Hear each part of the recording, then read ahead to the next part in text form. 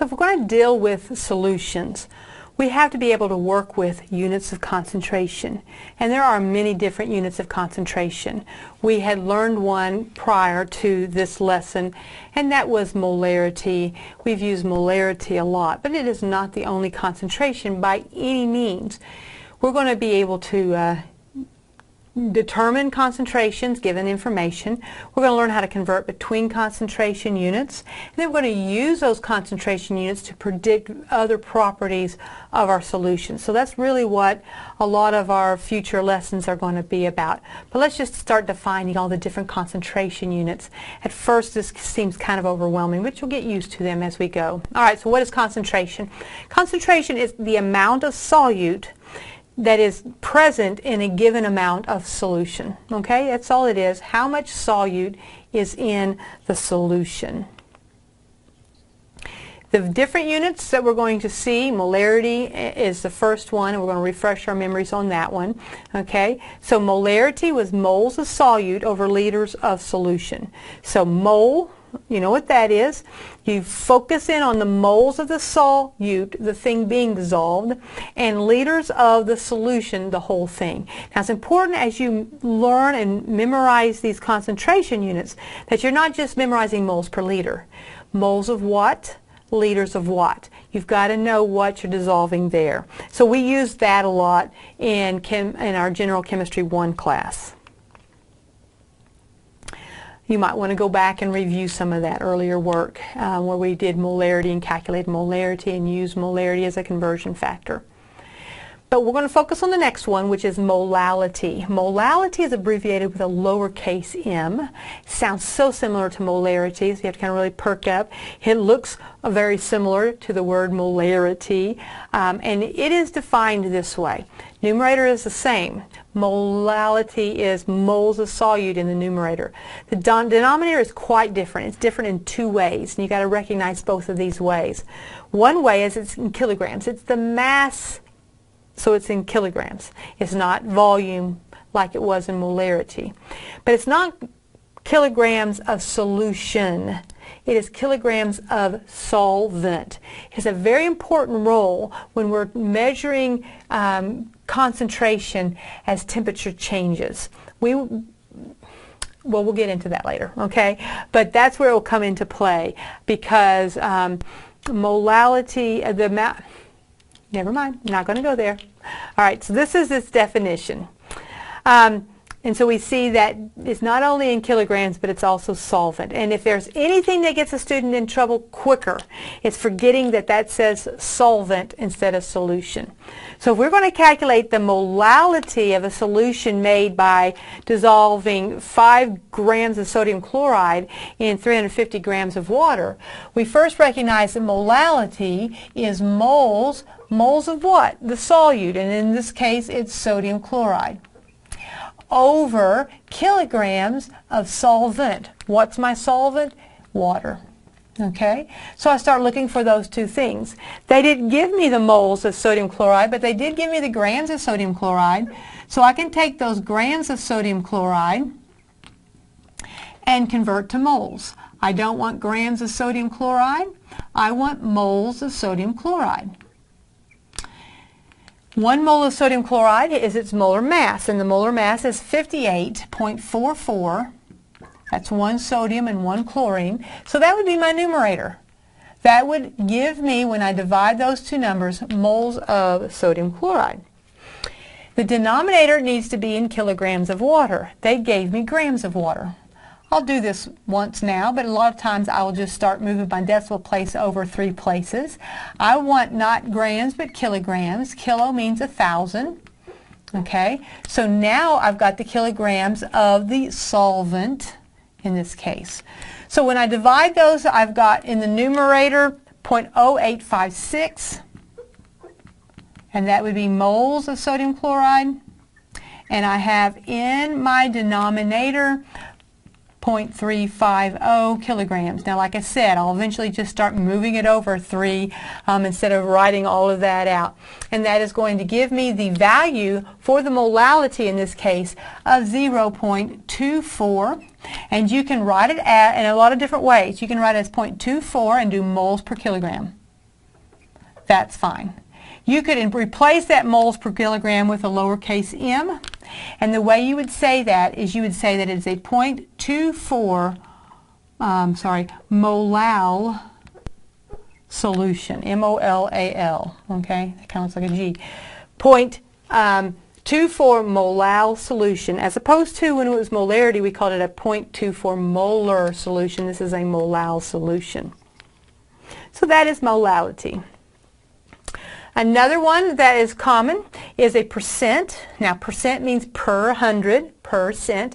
Percent, so you take the mass of solute, the part, over the mass of solution, the whole. A percent is always a fraction, part over whole, times 100 to get it in how many parts you would have if you had 100 parts. Okay? The way I will always use percent in a calculation is I will be given that percent and I will write it as a ratio. Instead of writing it with the percent after it, I will write it like this. 5.5 and it's percent by mass, so I'm going to choose a mass unit. This is the part, 5.5 grams of the sodium chloride, and percent means per 100.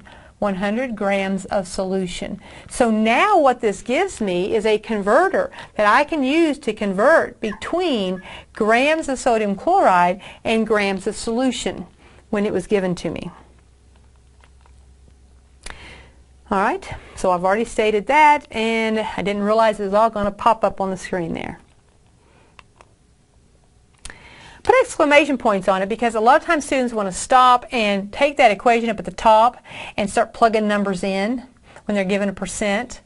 Just remember this ratio anytime a percent is given. It doesn't always have to be in grams, but it's a percent by mass in this case, so it's definitely in grams. So how, here's a problem. What is the percent by mass of sodium chloride if 5.6 grams of sodium chloride are dissolved in 44.4 grams of water? Well, as soon as I want to know the percent, this is a percent by mass, so I've got to use a formula. The part, that would be the grams of the thing being dissolved, over the whole, that would be the whole solution, grams of solution, times 100 is the equation that I would use. And so then I look for the information. The grams of sodium chloride is 5.6 grams. And if anybody's going to make a solution, they're going to put down here 44.4 grams. But that's not grams of solution, that'd be grams of the solvent.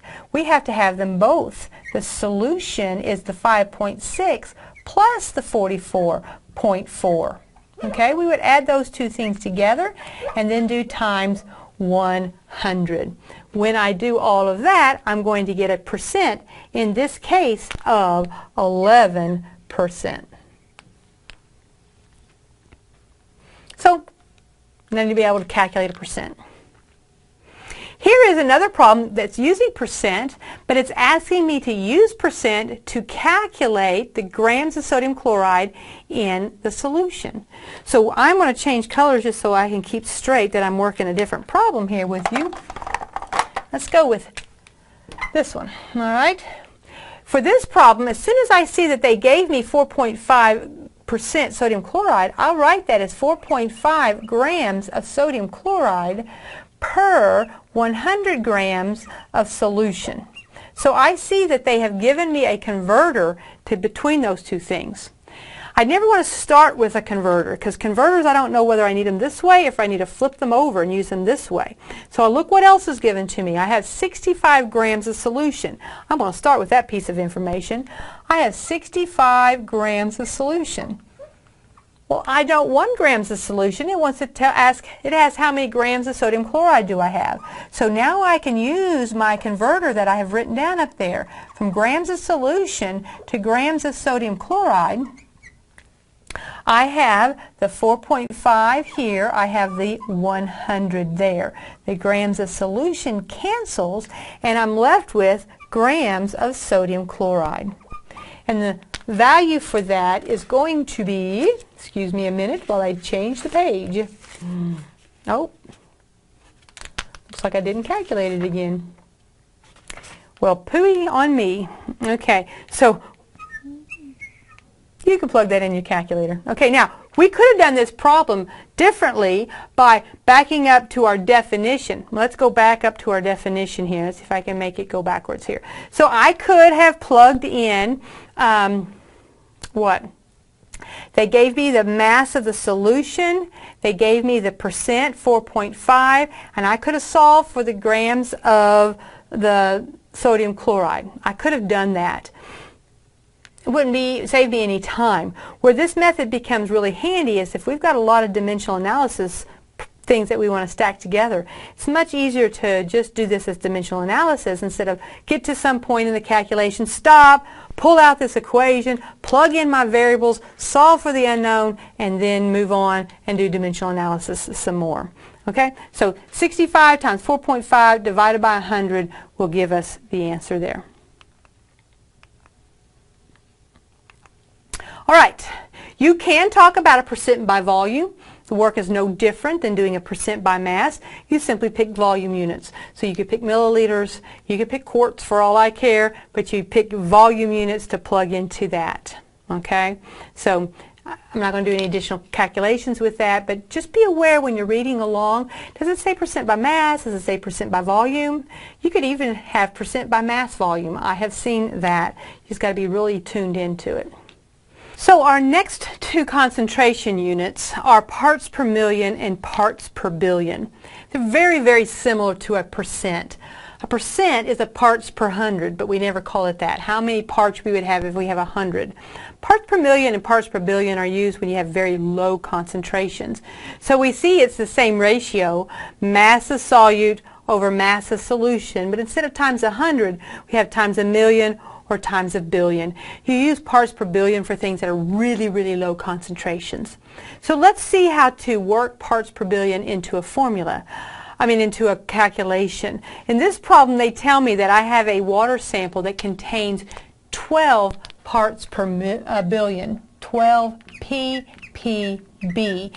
That's 12 parts of lead in a billion parts of water sample. So in other words, it's 12 Let's pick a mass unit, grams of lead. If I had a billion, that would be, it is parts per billion, 10 to the ninth grams of solution, which is our water sample, okay?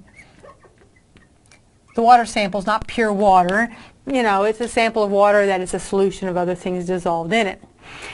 Now, if we have a gram of water, of this water sample, okay, which is our solution.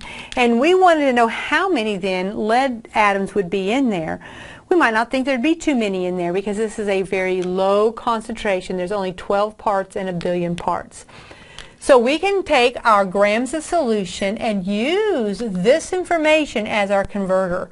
We're going to go from grams of solution to grams of lead and there are 12 grams of lead in a billion, that's with 10 to the ninth grams of solution.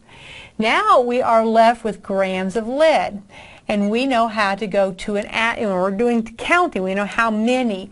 So we're going to go from grams of lead to moles of lead. That's how we get into numbers, right? Um, the molar mass. 207.2 grams of lead are in every one mole of lead. Okay, but it didn't ask it in moles, it asked for the actual number. Uh, so I'm going to go from moles of lead to atoms of lead. Okay, so there's um, 6.022 times 10 to the 23rd atoms of lead in every one mole of lead. And that is going to tell me how many atoms are in that one gram of lead. Uh, the value is, I've lost it, there it is. Um, 3.5 times 10 to the 13 atoms. So even in this one little gram of, of water, which is a, a cubic centimeter, tiny little amount, there are, even with this very low concentration, there's still a lot of lead atoms. But in the big scheme of things, that really isn't very many atoms. We wouldn't even be able to put that many atoms in our hand and know that they were even there. Okay, so we've got parts per million and parts per billion. The next one, and the last one we're going to look at, is mole fraction. We talked about mole fraction when we did the chapter on gases. We talked about Dalton's law of partial pressure, okay, and let's remind ourselves what a mole fraction would be. It would be the moles of the one thing, we call it component A, whatever it is, over all of the moles. It's a fraction. A fraction is a part over a whole. And maybe you're talking about the moles of sucrose and how many moles of solution and you add your sucrose together with the water. Doesn't matter. The numerator will be moles of one of the components and the denominator will be moles of everything in that solution. So just um, be aware because it is um, a fraction that's they're in moles and moles are going to cancel each other out. It is a unitless ratio of number of solute or one thing in the whole. Um, all right, so let's back up the bus just a little bit and refresh your mind of what we just covered. All the concentration units you're responsible for. We started with molarity, which we learned before. Then we added to it molality and percent. It might be percent by mass, it might be percent by volume, but percent means per 100, parts per 100.